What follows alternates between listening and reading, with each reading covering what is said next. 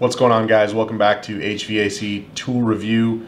Today we are talking about multimeters for use in the HVAC field. Multimeters are probably one of the most used tools in the trade. You're going to be using a meter every single day. There's a lot of meters out on the market. Today we're going to be talking about the best HVAC meters under 400 bucks. Something to keep in mind when you're looking for a meter is make sure that it's rated for the type of work that you're going to be doing. Think of the worst case scenario. If you're not familiar with the CAT ratings, check out the blog post. It goes a little bit more in depth talking about the different category ratings for meters and where they're used and what locations. One of the big reasons meters need to be rated for the category that they're going to be used in is because of voltage spikes and transient voltages that you can be exposed to while working on. A lot of this stuff is is widely variable and uncontrollable, so it's better to be protected when you're going to be direct contact with voltages like that. And the reasoning for that is because when you're working in a Cat 4 environment, that's usually from utility power coming into the building, all of those conductors and everything there is meant to be able to transport significantly higher voltage and carrying a lot of energy and current meant to carry that stuff. So if you're going to be out there working on it. Uh, your meter needs to be rated to work on voltage that high and usually the CAT rating provides much higher protection for those transient voltages that you can be exposed to. If you're unfamiliar with the CAT ratings, check out the blog post. I go a little bit more in depth there. I've got some charts show the CAT ratings. Uh, the It's got a little pictorial that kind of explains it a little more in detail make sure what you're working on, your, your tooling is rated for it. These, these injuries are significant that you can suffer from an arc blast or an arc flash. Big thing is making sure your meter, not only your meter, but also make sure your, your meter leads are rated for that as well. So the first meter we're gonna be looking at today is the Amprobe AM530. So I've had this one for a little while. Uh, I've been using it. Um, mostly stays at home for just stuff around the house. I don't have to go grab my meters off my truck. This is not a bad meter to have if you're gonna be just starting out or you're trying to save some money. They've got models lower than this one as well. So this is the 530. I think you can go all the way down to the 510. The 510 is a bare bones meter. Uh, it's still a Cat 3 600 volt meter. I don't think it has the flashlight that this one has, and then it definitely does not have the thermometer. Uh, the 510 is an absolute bare bones meter. I believe it is still a Cat 3 600 volt meter. This one is, you can see that here stamped on the meter.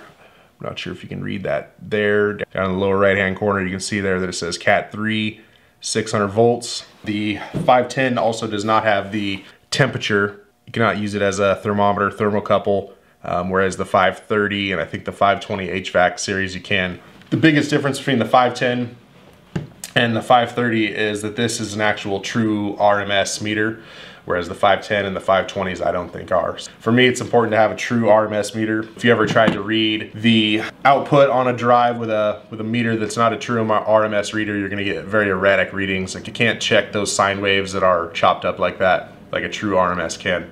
So RMS stands for root mean square. So every meter that I'm gonna use in the field is always gonna be a true RMS. Um, you can read more about that. I'll throw a link down in the description and get some more information. Overall, this has been a been a pretty good meter. Some of the features I really don't like about it is it's got this non-contact voltage. Um, I found that's really not accurate and I don't think any professional would be using that in the field. It's kind of more of a homeowner novelty type thing. It'll read out a voltage, but I've never had it be accurate compared to meter leads. It has a flashlight, kind of comes in handy if you if you need to see something but most of us are carrying a flashlight anyway so it's kind of it's kind of just a feature that's there doesn't do any harm.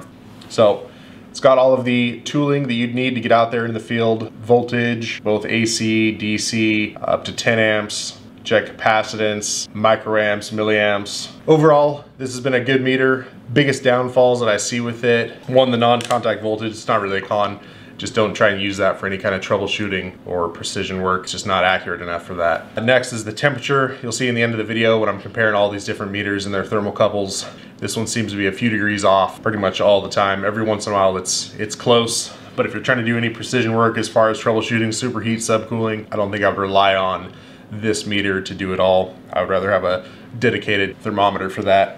Last is I've had some issues with dual input thermometer that I've had before from Amprobe. Didn't last long. It didn't last even a full year.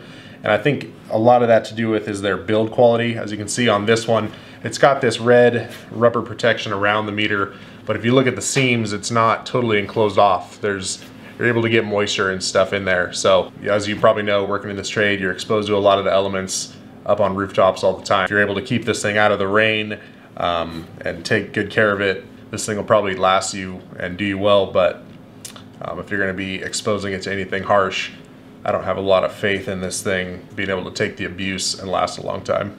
Next is the Fluke 325. I actually didn't have a 325 on me. I've got this old, old 902 before the Connect. They're pretty similar meters. The 325 is a solid meter. I think it comes in less than 100 bucks. It's AC DC voltage rated up to 600 volts. Um, you're able to take AC current readings up to 400 volts with this clamp meter here. It's got its temperature there, measurements from 14 degrees Fahrenheit to 752 degrees. So plenty of range there, unless you're doing some ultra low temp work. Resistance up to 40 kilo ohms and capacitance up to 1000 microfarad. It's a good solid meter for any tech to be tossing in their bag it's a nice lightweight one. It is a bet added benefit to be able to have a clamp meter versus something like the Amprobe that we were just looking at a minute ago. Um, one thing to keep in mind, it's, it's a Cat 3 600 volt meter. So make sure you're using that in the right places accordingly. We'll be doing the, the temperature readings for all of them at the end of the video.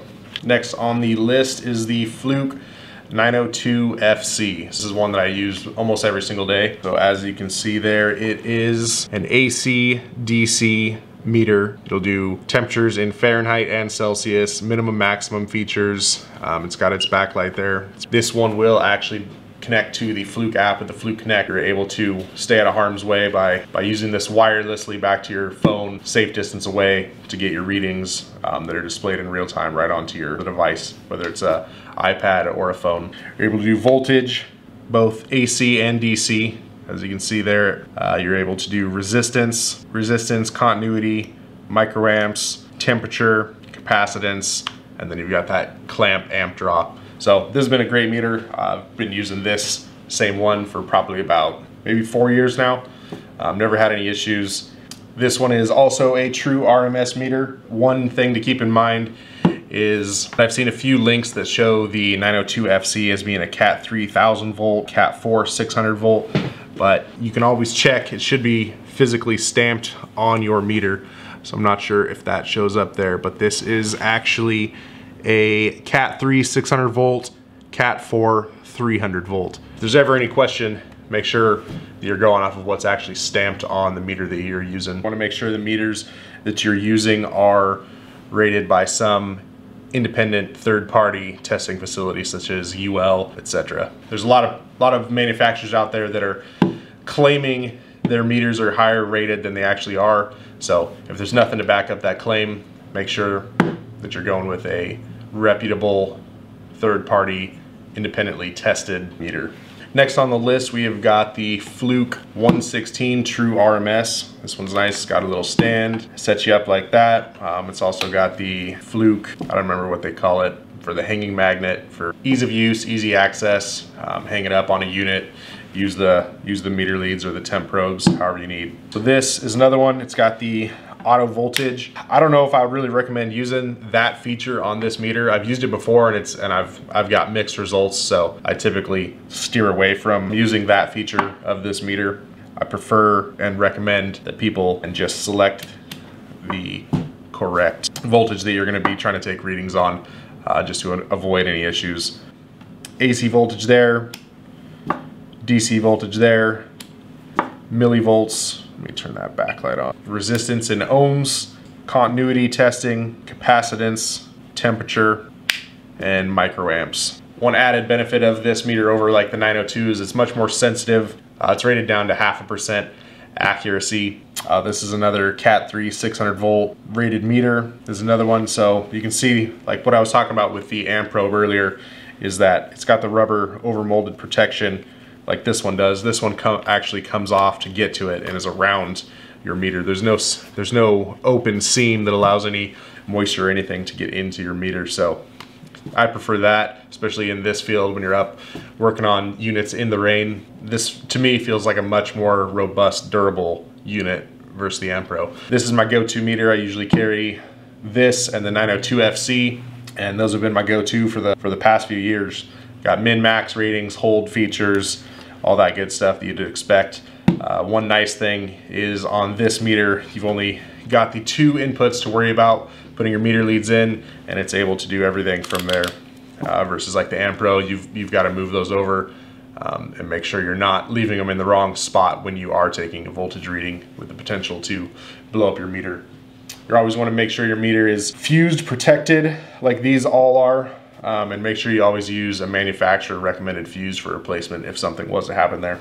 Uh, and the last one that we're going to be talking about today is the Fluke 376 FC. You can pick these up for less than 400 bucks, and if you're working on some some large equipment or that you need the cat rating for, this is the one that I would I would recommend. You can pick it up as a kit that includes leads, the wireless clamp flex connect, um, which if you've never used one of those, those come in really handy on some really tight bundles. It's able to weave in and out, especially on some of that larger gauge wire. Allows you to get some get some readings that you otherwise wouldn't be able to get with your with just a hard plastic clamp meter. Another added benefit of using that flex connector is that it allows you to take amp readings up to 2500 amps. If you're working on some extremely large equipment where you need to get readings on stuff that's high, uh, this meter also has the FC connectability, uh, which allows you to take those readings from a safe distance away. This meter is also a Cat 3 1000 volt or a Cat 4 600 volt rated meter. If you're gonna be doing work in, in a category four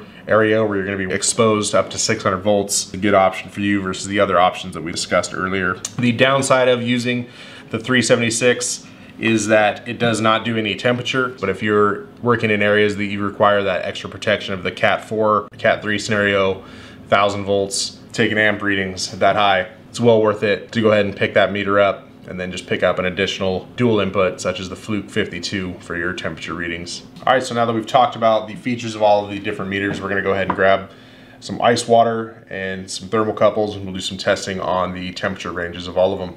Been in there about five minutes now and it's it's holding on the 116 at 32.4 and this is the included temp probe from the Amprobe meter. All right, now we've got the Fluke 902 FC you can see we're hanging out at 31.8 with the same uh, thermocouple. All right, here we've got the Fluke 902. This one's hanging out right about 32.5, 32.6, about a degree off from the other two Flukes we've tested so far.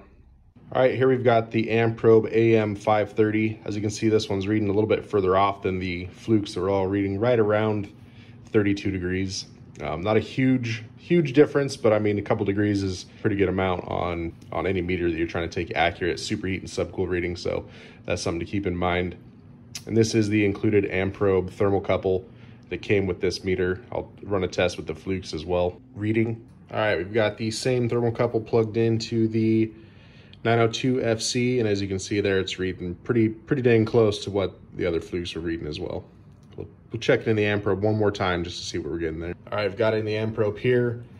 As soon as I plugged it in, it was reading about 37. It's been about a minute now, and it slowly is creeping down, so we'll see where this ends up once it stabilizes out. You can see that it seems to be hovering right around there at 34.6, 34.7, which is a couple degrees off, which uh, if you're using this for accurate superheat subcool readings, doing some refrigeration work, uh, this can this can skew your numbers a little bit.